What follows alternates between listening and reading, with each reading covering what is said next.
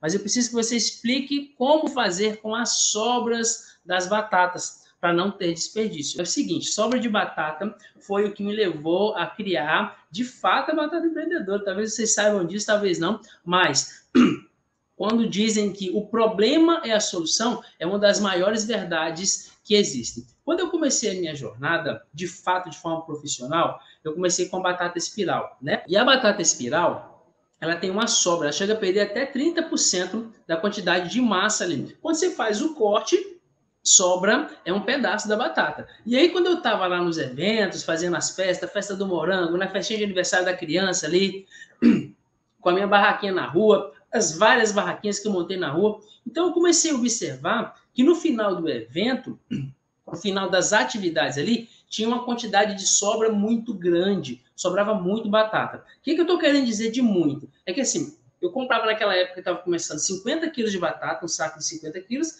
e daquele saco que eu acabava vendendo todo ali na noite, é, sobrava de 50 quilos, sobrava por volta de 15, 20 quilos de batata.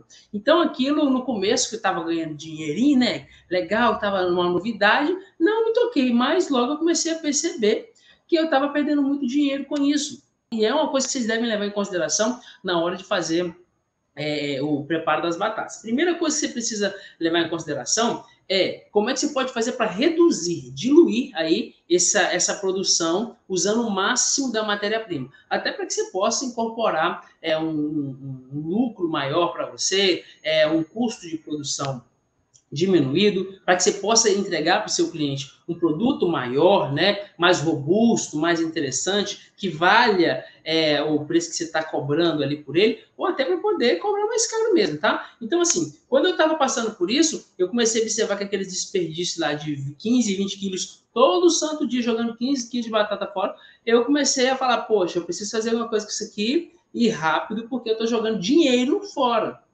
né? De estar jogando dinheiro no lixo. E aí eu comecei a criar outras opções de pratos.